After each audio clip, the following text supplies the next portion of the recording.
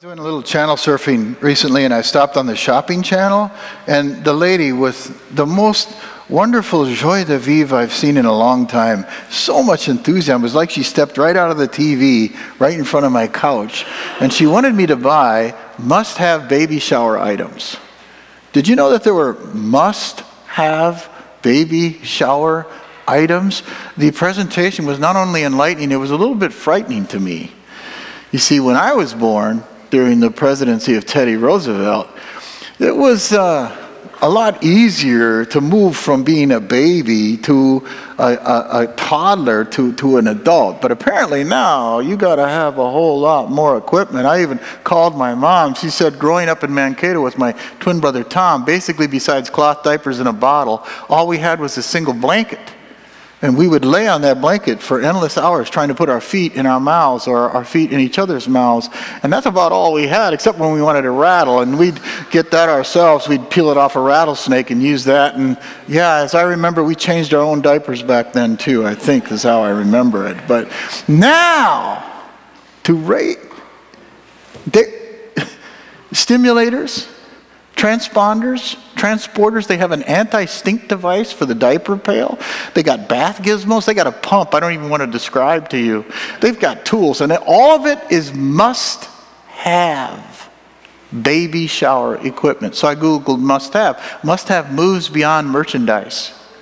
Did you know that before men date women, they have must have lists? That they make out, and the woman has to meet that, and vice versa. Women have must have lists for men to meet before they'll date them. Here's the top three number one, slightly shorter than average height. Number two, small, stocky build. And number three, they have to be a pastor. Boy, somebody's got his back, right? Huh? Most of the must have stuff you see, you, right away you know, I can do without that. Today, in, in one of the most fabulous sections in Scripture, we're going to talk about must haves. That, for heaven's sake, for heaven's sake, you must have them. And whatever you do in life, you want to hold on to these must haves. And if by the Spirit of God you will grow in a deeper appreciation of these must haves for as long as you live, here is what they will do by the Spirit of God. They will change your life into a, and I want to. I want to worship Jesus. I want to tell others about the joy of sins forgiven. I want to give more of my treasure. Tell me what I can do to serve my Lord. If you will live in the good of these must haves we uncover today with the Apostle Paul, you will say, I'm all in. Christ's love compels me. I want to live for Him because these truths, these ironclad, undeniable, non negotiable must haves, hold me firm in my faith, and I love my God. Just so that you see that's where Paul was headed in the text we're going to study today, let me have you, before I read the whole text, find the text. It's Titus 3 3 through 8. You'll either find it in the service folder on page 10, or there's an insert as well. And, and look at the last verse of our short text this morning. This is what Paul says This is a trustworthy saying. That five times in the pastoral epistles, Paul will say that whenever he says that, that you want to move to the edge of your chair mentally and you want to pay attention. That, that phrase is equivalent to a teacher saying, This will be on the final. when a teacher says, This will be on the final, what do you do? If you don't know, that's why you repeated a lot of grades, okay? you, you pay attention. Because what's coming is an aspect of the gospel that's non negotiable and life giving. And that's what he says. Look what he says. And I want you to stress these things so that those who have trusted in God may be careful to devote themselves to doing what is good. These things are excellent and profitable for everyone. So the question is, what is the trustworthy saying? Believe it or not, the trustworthy saying is an entire sentence in the Greek One sentence that flows from three to seven, and in there are the must haves we'll uncover. And whatever you do, hold on to your must haves. Can you say that with me? Whatever you do, hold on to your must have. Please stand. Let me read the entirety of the text for you. This is Titus 3. It's just 3 through 8. Beautiful scripture. I'm going to start at verse 3. At one time, we too were foolish, disobedient, deceived, and enslaved by all kinds of passions and pleasures. We lived in malice and envy, being hated and hating one another. But, but, when the kindness and love of God our Savior appeared, He saved us, not because of righteous things we had done, but because of His mercy he saved us through the washing of rebirth and renewal by the Holy Spirit, whom He poured out on us generously through Jesus Christ our Savior, so that having been justified by His grace, we might become heirs, having the hope of eternal life. This is a trustworthy saying. And I want you to stress these things so that those who have trusted in God may be careful to devote themselves to doing what is good. These things are excellent and profitable for everyone. God's word is true. Amen. Please be seated. Please be seated. If we wanted to identify truths that are non negotiable in the kingdom of God, that God uses to galvanize our lives to inspire us to live for Him from this text. The first one, we, we, might, we might could phrase it like this We cannot save ourselves as we are shot through with sin. There's just nothing within us whereby we could ever hope to save ourselves. We cannot save ourselves as we are shot through with sin. Let's say that together. We cannot save ourselves as we are shot through with sin. He employs no less than eight words in the opening verse to help us to come with David to the conclusion that against you and you only have I sinned, Lord and done what is evil in your sight, that you are proved right when you judge. And I am worthy of nothing on my own but eternal damnation. And it's ugly, but it's necessary. Because to the degree we take sin lightly is to the degree we take our Savior lightly and we take grace lightly. So look at the look at the words. Let's just talk a little bit about it that confirm this must have. At one time we were foolish. It has nothing to do with street smarts or uh, IQ or acumen. It has everything to do with moral depravity and the density that accompanies that. Paul writes to the Romans and he says, they exchanged the truth of God for a lie. Although they knew God, they neither glorified him as God or gave thanks to them. Their thinking became futile, and their foolish hearts were darkened. And this is the inevitable result of all of mankind, of you, of me, when we do not have the redeeming grace of God and the sanctifying light of the Holy Spirit in our heart. We're, we're spiritual pygmies. We're moronic in our evil. And it doesn't just leave us in that stupor, it leads to action. We were disobedient disobedient. it's not that when you sin against God, most of the times in your life, it's not because you don't know the difference between good and good and bad, right? I know it. But I don't give a rip. I just don't care. I'm going to do it anyway. It's disobedience. That's what, that's what the result of sin in our life. We're deceived. We're deceived. We're dupes. We don't even know what we're doing we're, is wrong. We're lost. Have you ever been lost and not known you were lost? That ever happened to you? My dad used to have a, a Plymouth purple station wagon, and we used to go on vacation every year to Mishicot, Wisconsin. From North Platte, Nebraska, we'd go, all the kids in the back with the blankets and build tunnels and be annoying, you know. And he's driving, and he would get lost as a goose because every time he had a shortcut. And, and my mom would say, just stop and ask for directions. You know what his response was? This is classic. Did, did Lewis and Clark stop for directions?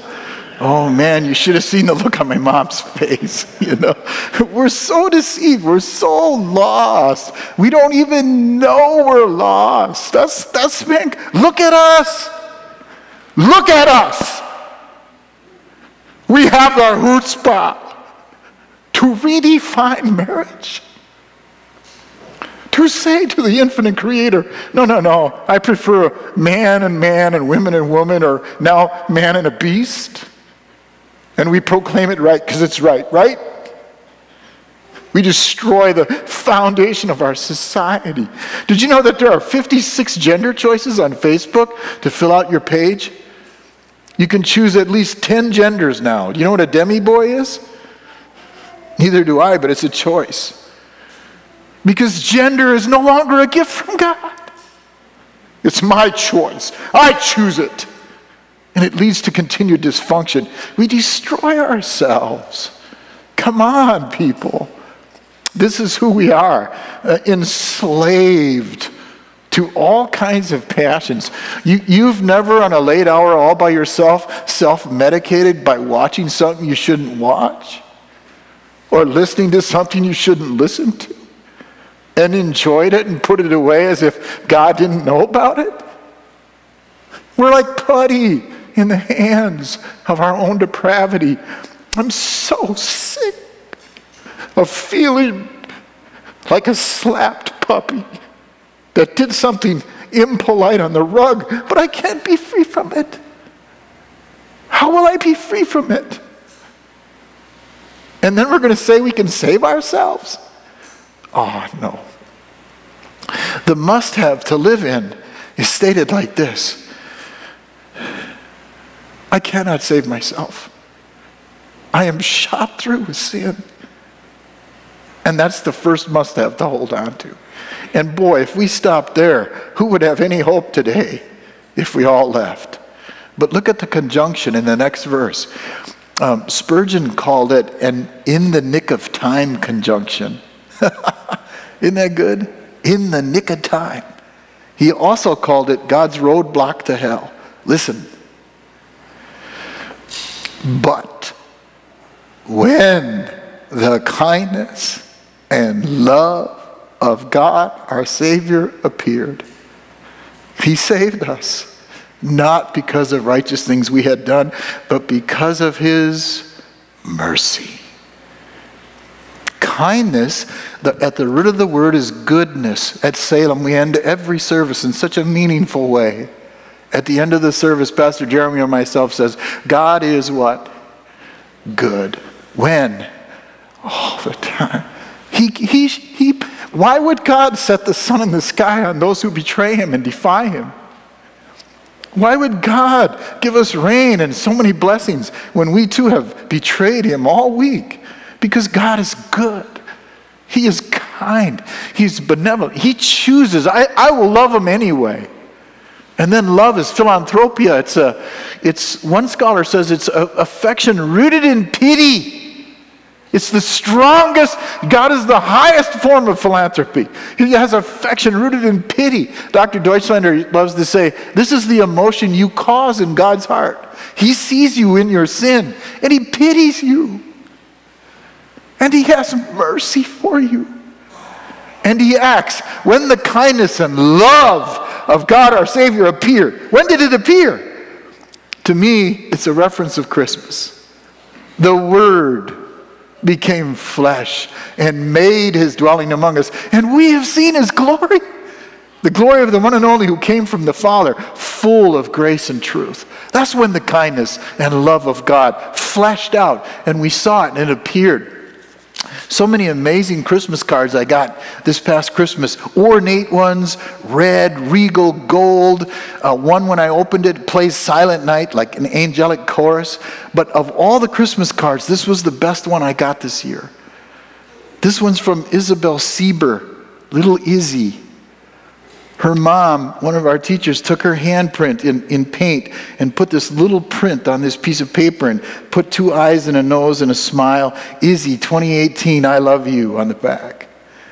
What's so appealing about this? Why is this so meaningful? Because you can see little Izzy with her two teeth giggling when she does this. And she gets it. Her mom explains to her, This will go to Pastor Tim. We love Pastor Tim. And she gives it to me, and it's, it's so simple, it's so warm, it's so meaningful. Children are free to love everybody, even me. Martin Luther, in a, in a Christmas sermon, he wrote this about God's gift to us in his Son. How could God have shown his goodness to us in a more sublime manner than by humbling himself to partake of flesh and blood? And he comes and he fleshes himself out and he lives a perfect life among us. And to make sure that we would know definitively that Christianity is fundamentally Trinitarian, assuring us in his love. He stands in the Jordan River and the water drips from him. He says, You baptize me. Why would I baptize you? In his own words, to fulfill all what? Righteousness. Everything that my Father would have me do to be a perfect sin substitute for these people and give my life on the cross, I will do. I will do it willingly. And the Spirit shows up in a dove to confirm He's all into. And God the Father from heaven says, This is my Son, whom I love. With Him I am well pleased because He is holy, He is innocent, He is perfect and God the Spirit and God the Father and God the Son in the most important thing ever in your salvation are united. Let's save them. Let's redeem them. They cannot save themselves, but we can because salvation is God initiated and God accomplished. And that's the second must have. Salvation was God initiated. God initiated it. You're in verse 3. God is not. God is in verse 4. We are not. But when the kindness and love of God are saved. God is the actor. We did all the sinning. He did all the saving. And he even talks about the means through, through the washing of rebirth and renewal by the Holy Spirit. It calls to mind those words to Nicodemus. Nicodemus said, how, how can I be born again? And Jesus said, Flesh gives best birth to flesh, but spirit gives birth to the spirit. Born again through water and the spirit and the word, right there. That's what happened. A, a miracle greater than Lazarus coming back from the dead. It's a miracle where we get eternal life. And with God the Father and God the Son and God the Spirit, just as at his baptism, are there and give us that gift. And so we can live in this must have all of our days, which transforms us into want to. Is it any wonder that he ends uh, Romans 11 by moving into Romans 12 and saying, Therefore, in view of God's mercy, offer your body as a living sacrifice to God. So, in a roundabout way, these are the must haves we reviewed. We, we cannot save ourselves as we are shot through with sin. The second must have is this salvation was God accomplished God initiated and God accomplished. And Christianity is fundamentally Trinitarian. I, I, need to show you that from the text, or you'll think I was just bringing it in with the church here. Look at verse 5, the last sentence in verse 5. It, it says, He saved us through the washing of rebirth and renewal by the Holy Spirit. So the He doesn't refer specifically to the person of the Trinity that is the Holy Spirit. And then verse 6, whom he poured out on us generously through Jesus Christ. So the he refers to God the Father. Do you see the Trinitarian formula there? It's beautiful. He, God the Father, saved us. He's the, he's the supplier or the instigator, let's say. He saved us through the washing of rebirth and renewal by the Holy Spirit. He's the applier, whom he poured out on us generously through Jesus Christ. So God the Father instigates, the Holy Spirit applies, and Jesus Christ has supplied. God the Father, God the Son, God is fundamentally Trinitarian in assuring us that these must haves are certain certainties that we can cling to. There was this uh, elderly man, and he uh, was wealthy beyond means and he loved art. He was widowed in his 60s, and he threw his passion into art. He would buy priceless art from all over the world Monet, Rembrandt, Van Gogh, and he had a boy, and he taught this boy to love art. The boy loved art. He learned to, to be travel the world and lecture on art, and in their family estate, they had millions of dollars worth of priceless art. And in 1914, the world was engulfed in war, and the boy got called away to war. And three months later, he got word that his boy had been killed on the front line. And the father was shell He didn't know how he was going to go on.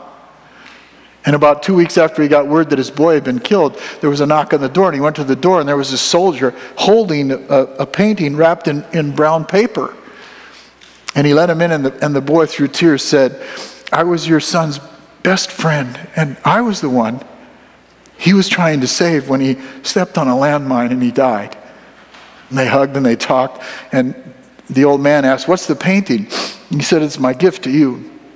And it was the most beautiful painting of his son. He captured the glint in his eye, the strongness of his chin. All of his features were captured in this amazing painting. And the father was so grateful, and the man left and he put it over his fireplace. It was, oh man, Rembrandt meant nothing to this painting. It was his most treasured possession. Well, the old man died, and the auction came for all of these paintings, millions of dollars worth. People came from all over the world to bid on these priceless pieces. The auctioneer started the auction. The first painting was which one? Painting of his boy. Man, you should have heard the murmur in the crowd. It was like a too long Lutheran sermon and the people are complaining under their breath, you know, what's going on here? And they wanted them to auction it real quick and get rid of it so they could, and, and, and not auction it at all. And the auctioneer said, according to his will, we have to auction this piece first, or you don't get any of the pieces. So do I have 50 quid? And someone bid 50 quid and it didn't go higher than that. The painting sold of the son sold for 50 quid. Oh, now we can get to the real treasures banged the gavel, and then he said, The auction is now over. Because according to the will, the one who gets the son gets everything. It's theological truth. John said, To those who received him, to those who believed on his name, he gave the right to become children of God, children born not of natural descent, nor by human decision, nor by will but born of God. And that is who we are. And all the wealth is heaven. Justified, heir of God forever. All in these must haves that you and I want to hold on to all our days as they transform us into Christians who want to. Amen.